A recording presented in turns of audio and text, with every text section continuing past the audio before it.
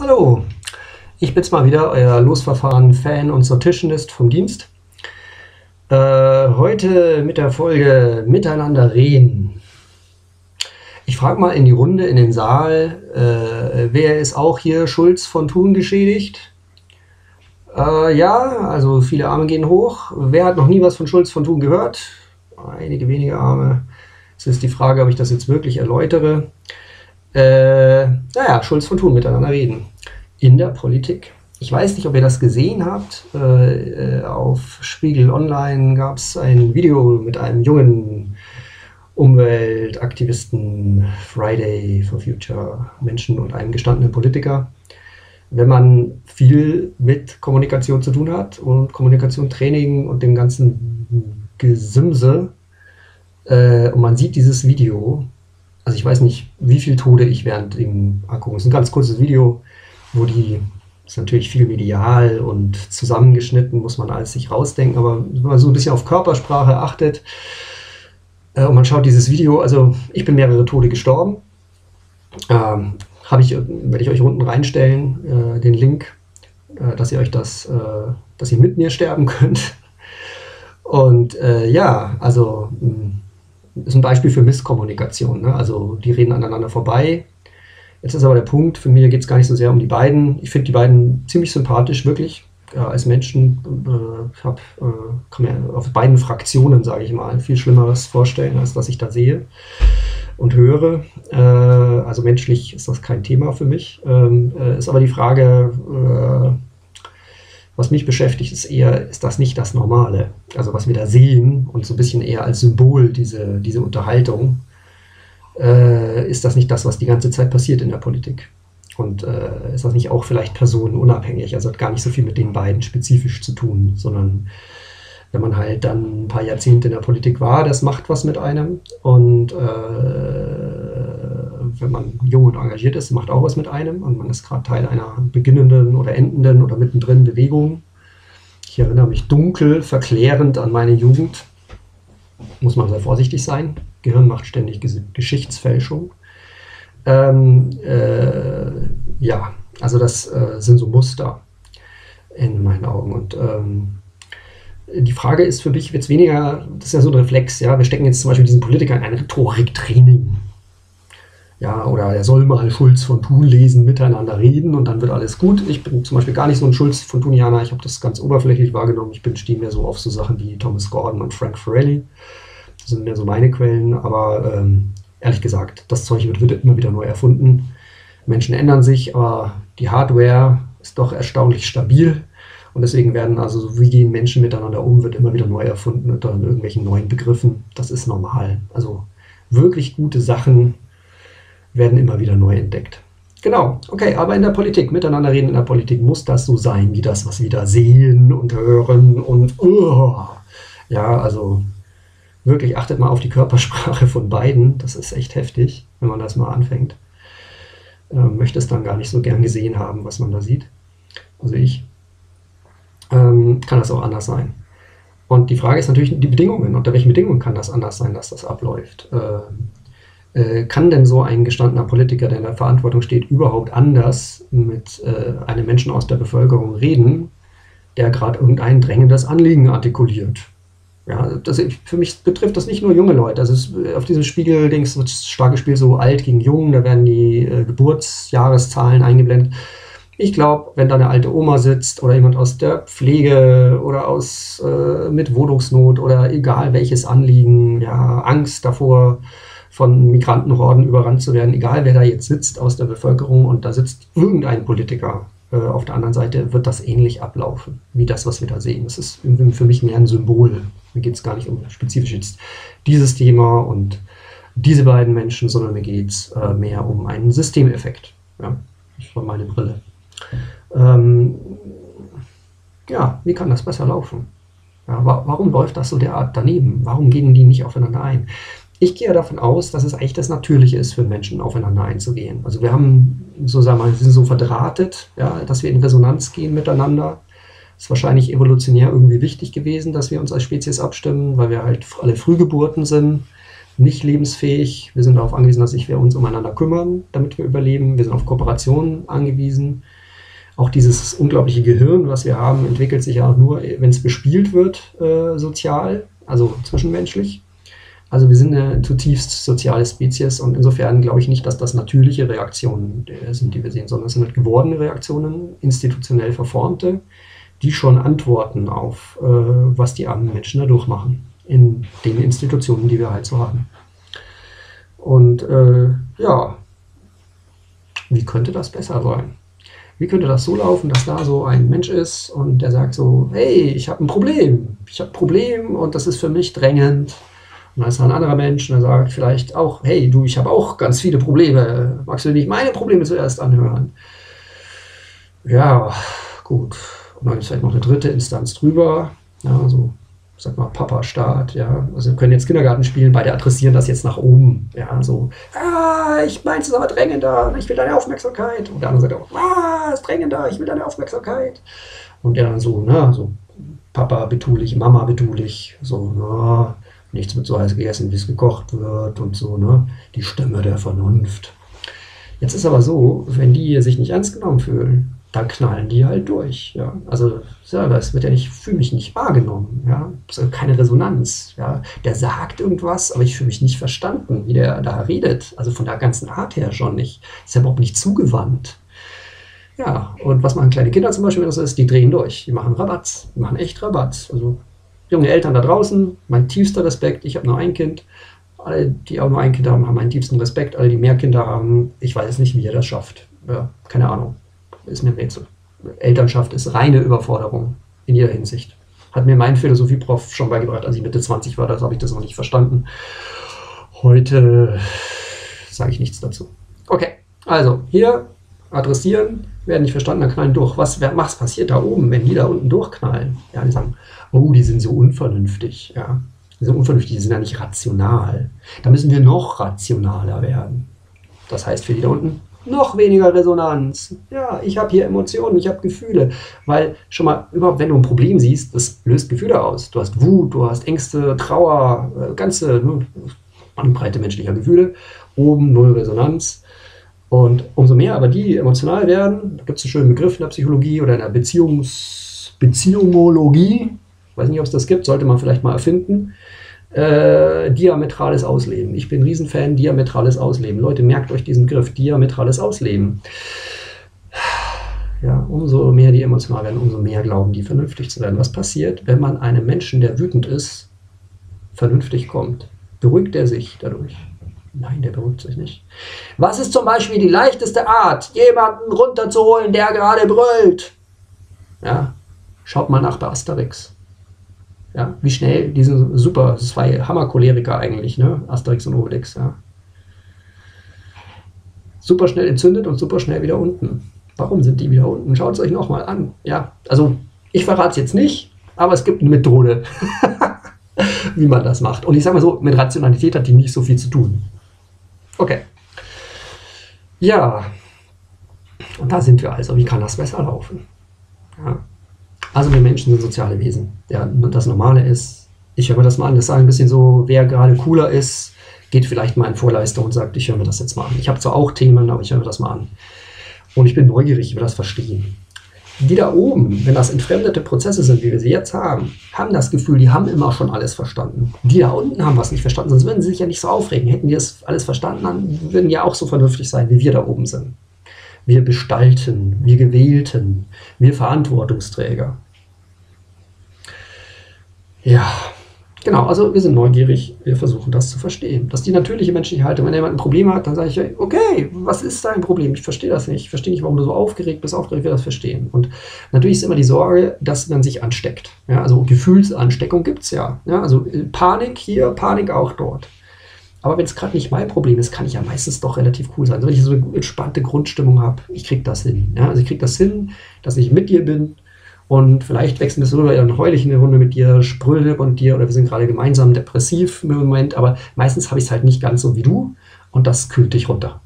Und dich genauso mit meinem Problem. Es geht wunderbar. Ja, also hier sind nur Hände, aber stell dir mal vor, es sind Leute, ganz normale Bürger. Was ich damit sagen will, ist, Bürger können sich besser gegenseitig beruhigen. Ja, und zwar einfach deswegen, weil sie nicht in Verantwortung stehen. Einfach weil sie, ja, sie können sich menschlich begegnen. Das können Politiker nicht. Das ist nicht Fehler der Politiker. Bitte hört auf, Politiker in Rhetoriktrainings zu stecken. Schenkt euch das. Empathie aus Machtpositionen funktioniert nicht. Ich kenne ein paar Superheroes, ich habe die persönlich kennengelernt, die können das. Ganz besondere Menschen, aber man kann das nicht von Menschen erwarten. Man kann das auch nicht züchten wenn man sich mal anguckt, was Menschen durchmachen, also einfach mal auch Empathie mit Politikern hat, mit Empathie mit Firmenlenkern, merkwürdigen Menschen hat, die in merkwürdigen Machtpositionen sind, wenn man sich mal anguckt, durch was die durchgehen, bis die da sind, dann erwartet man das nicht mehr. Ein paar wenige schaffen das und auch aus dieser Position, selbst wenn du der Hyperempath bist und super Sozialkompetenzen hast, du bist irgendwann überfordert. Du wirst zerrieben zwischen den Erwartungen, dir wird auch selber keine Empathie entgegengebracht, überhaupt nicht, du wirst permanent angegriffen wenn ein Mensch permanent angegriffen wird und seine Empathietanks nicht auffüllen kann. Und das können diese Berufspolitiker nicht. Die schweben da in ihrer Politikwolke, in der permanent Krieg herrscht. Das müssen wir uns mal glauben. Wir haben die armen, und wir stellen die unter Stress, unter Kriegsbedingungen, diese armen Menschen, und erwarten, dass sie dann noch empathisch sein können. Das können die nicht. Und dann auch noch mit so vielen verschiedenen Menschen, mit so vielen Anliegen. Alle wollen was, lauter Babys, ja. Äh, so fühlt sich das für die an. Kann nicht funktionieren. Kann nicht funktionieren. Kommunikationstechnisch kann das nicht funktionieren, ja. Äh, Im Grunde hilft Empathie ganz viel weiter, auch kognitive Empathie, wenn man sich einfach mal einfühlt und versucht zu verstehen, was heißt eine bestimmte gesellschaftliche Position von Menschen, was heißt das von innen, nicht von außen, nicht analytisch, nicht, was heißt das? Verstehen. Ja, also man versteht die Leute, wo sie sind. Und dann versteht man oft auch, dass das nur sehr schwer anders sein kann, wenn man diesen Bedingungen ausgesetzt sind, denen die ausgesetzt sind. Was ich sagen will, ist, was wir bisher, finde ich, zu wenig verstehen, ist, äh, Bürger können was füreinander tun, was systemisch, systematisch, strukturell Politiker nicht für Bürger tun können. Das können die gar nicht, versuchen die die ganze Zeit verzweifelt, aber die überfordern sich selber damit. Das merken sie allmählich und ähm, weil dieses Überfordertsein kein gutes Gefühl ist, ist es wahnsinnig schwer auch für die zu vermeiden, Selbstwertschutz zu betreiben in der Form von, die Bürger sind blöd, die Bürger sind böswillig, Hilfe, ich will ein anderes Volk. Ist ein naheliegender Exit, ja, also psychologisch. Ich würde jeden Politiker verstehen, der so denkt. Kann ich, könnte ich nachvollziehen.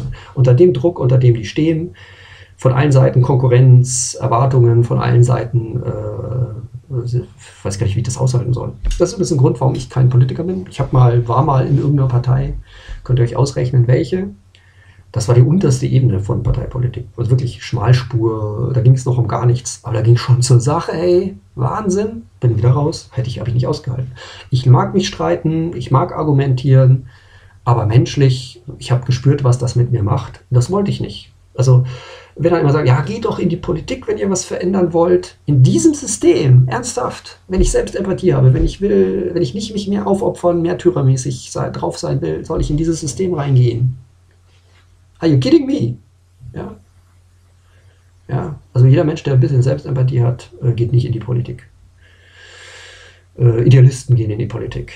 Äh, Menschen mit Hammer-Ego gehen in die Politik. Und manche, die reingerutscht sind über Beziehungen, gehen in die Politik. Aber Leute mit wirklich beträchtlichen Nehmerqualitäten. Also zum Beispiel, ich glaube ja, Privattheorie, ich weiß es nicht, aber Privattheorie ist, die Angela Merkel ist ja ein Rätsel. Ja, also viele haben das immer noch nicht verstanden, glaube ich. Die hat ja äh, reihenweise Leute überholt von rechts. Ja, also äh, nicht von rechtspolitisch, sondern auf der Spur, wo man sie es nicht erwartet haben. Roland Koch, Christian Wulff, Edmund Stoiber, alles designierte Kohl-Nachfolger, hat sie alle rechts überholt. Eine Kundin hat mir das mal erklärt, die Guppi-Taktik hat sie das genannt, hat sie erfunden, ja. Aus einem schönen Bereich, auch ein Haifischbecken. Sie sagt, ich war da der Guppi im Haifischbecken und die haben mich nicht kommen sehen. Das ist Angela Merkel. Schaut, wenn man sich Videos anschaut von vor 25, 30 Jahren und sagt, die wird mal Kanzlerin, glaubt keiner. Äh, und dann auch noch kohlsche Dimensionen von der Amtszeit her, glaubt auch keiner.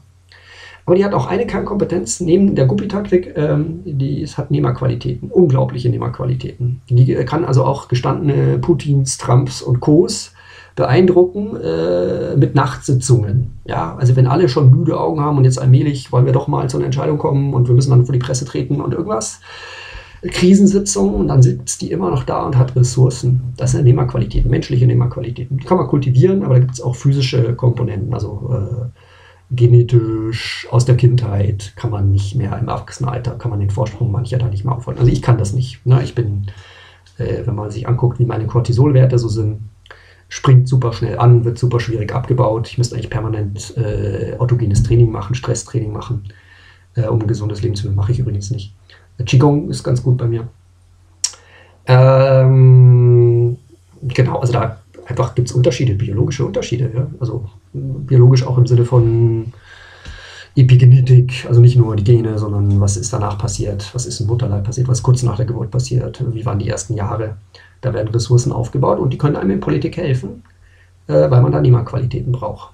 Also es gibt Leute, die können gar nicht in die Politik gehen, nicht so, wie wir das System gebaut haben, weil du brauchst du diese Ressourcen, um erfolgreich zu sein. Angela Merkel hat die, sonst wäre sie nicht da. Also wer Angela Merkel für eine, rein technisch gesehen, unabhängig von ihrer Inhalt ihrer Politik, Inhalt ihrer Politik, für eine schlechte Politikerin hält, ähm, dann ist meine Frage, wofür reden wir, äh, wovon reden wir? Ja, also systemimmanent ist die erfolgreich. Ja, also kann Politik, ja, die beherrscht das Feld, die beherrscht ihr Handwerk in dem gegebenen Rahmen.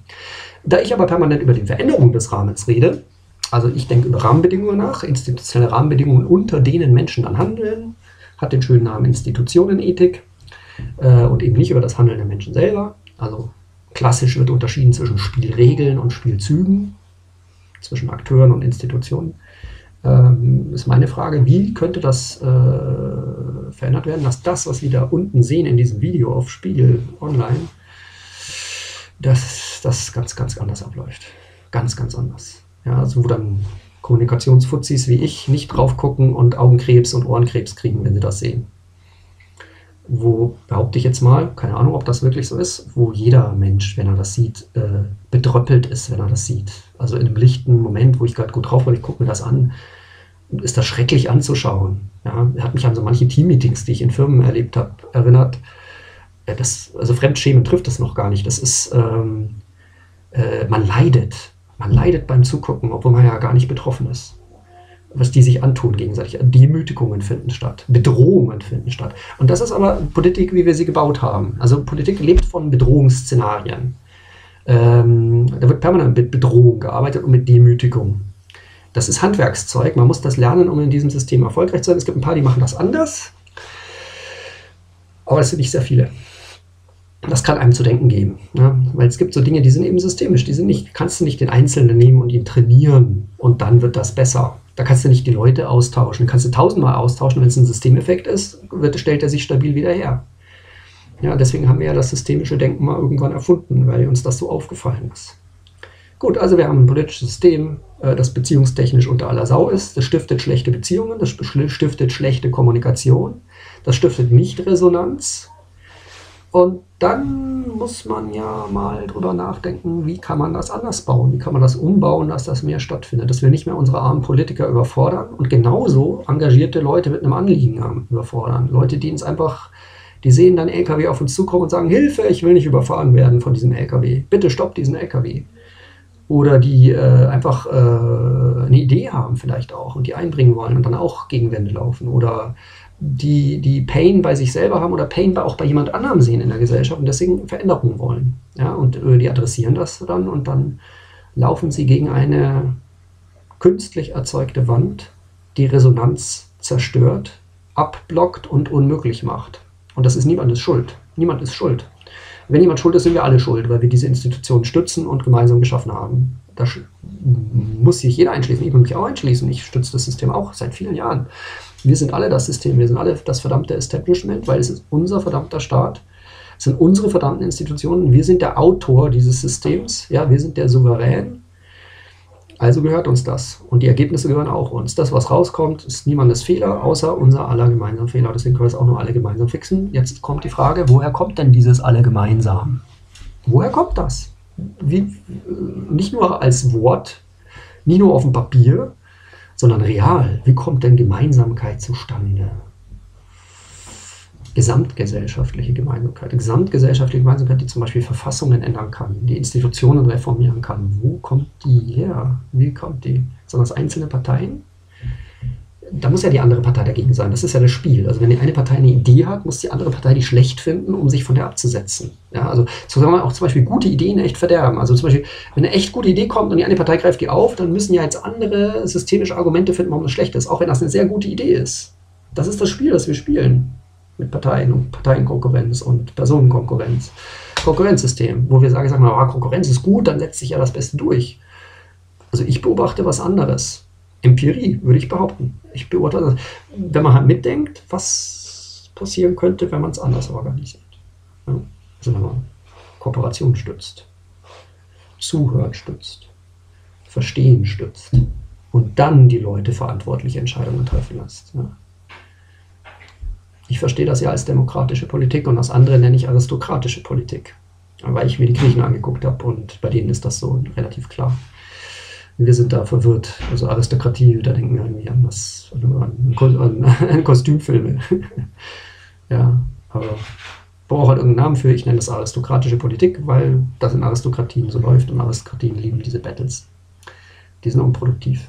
Haben die Griechen rausgefunden, deswegen Demokratie geschaffen, Losverfahren erfunden, ich komme wieder aufs Gleiche. Ich weiß, es ist ermüdend, aber ja, das ist mein Alpha und mein Omega und dazwischen stehen manchmal spannende Dinge.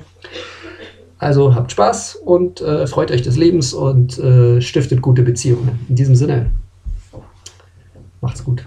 Tschüss.